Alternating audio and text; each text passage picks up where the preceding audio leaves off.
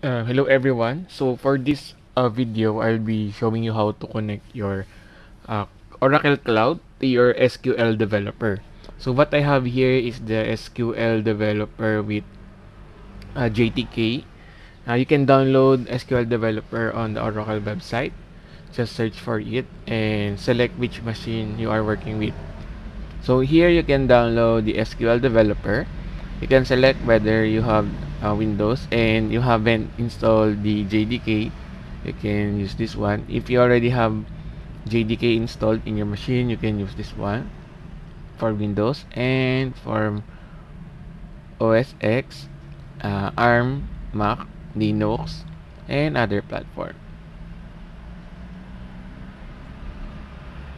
So for now, I'm using Windows and before we add a connection, we need to download the um, configuration file.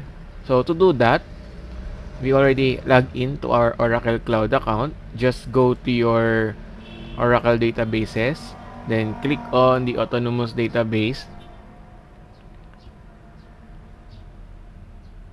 So here, uh, you have the instance of your database here and if you have many instances just select which instance you want to connect your SQL developer so in the DB connection here just uh, click download wallet.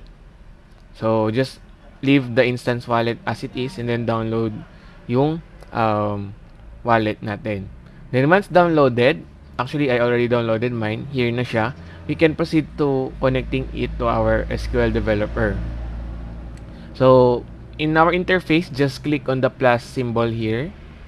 Then this will pop up then you can name your database here.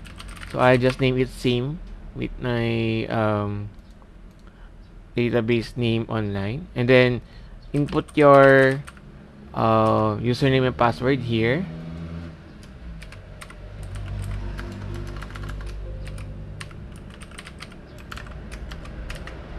And then select cloud wallet. And then browse. And look for our um, downloaded zip file for the wallet. So I have here mine. Let's see. Wallet.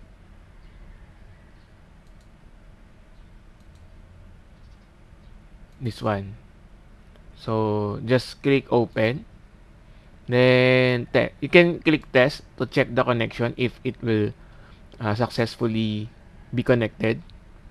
Yeah, so status is success and then just click connect. And then there you have it.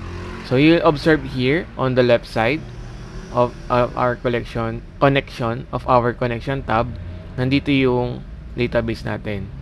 And then if you click the plus button here, uh, plus yeah it will load all the entities that you have or objects that you have in your database.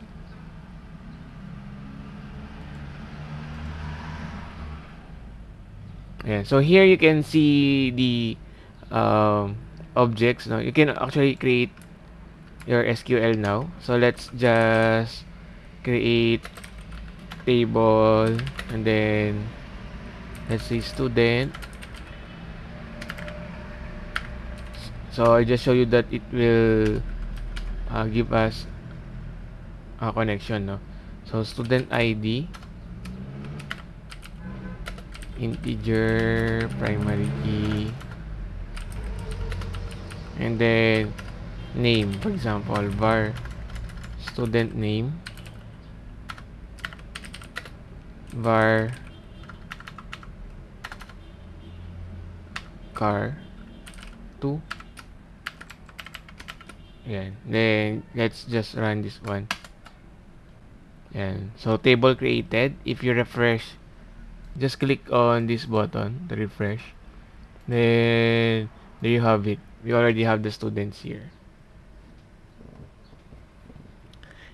Or student.